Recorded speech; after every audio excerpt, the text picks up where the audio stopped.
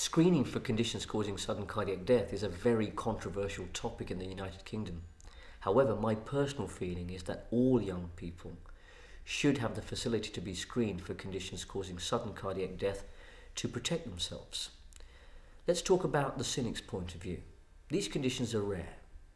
Hypertrophic cardiomyopathy has a prevalence of 1 in 500. ARVC has a prevalence of 1 in 1,000. Brugada has a prevalence of 1 in 5,000. So why should we be screening for such rare conditions?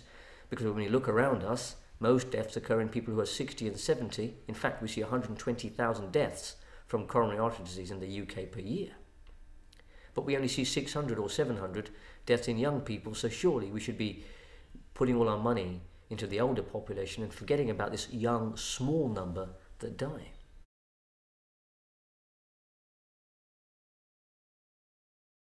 If we consider that the population of the United Kingdom is 60 million, then based on our current estimate of the prevalence of these disorders, there are 600,000 people in the United Kingdom that are affected with one of these disorders.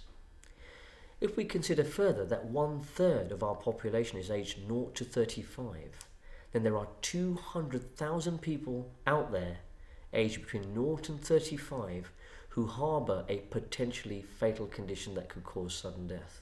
Now, I think that's an important problem. Let's take into account the 600 or 700 sudden deaths we see in young people in the United Kingdom per annum. The average age of those deaths is about 16 years. If you assume that most people who live in the United Kingdom will live to at least 80 years of age, a young person dying at the age of 16 has lost 64 years of life. If we take into account that there are 600 such deaths, I've worked out that there are about 127,000 life years lost in one year. 127,000 life years lost. That is the same as saying that there will be about 9,000 people today who are aged 80 that will not make 81 next year. And when you say it like that, it sounds like a major health problem. But people don't see it like that. They see it as a number. Only 500 versus 100,000. I think we should see this as life years lost. There is a, a huge number of life years lost, not to mention the potential and the service that this youth could give this country. We're not talking about an octogenarian dying, we're talking about a 16 year old who could give so much back who has lost a life.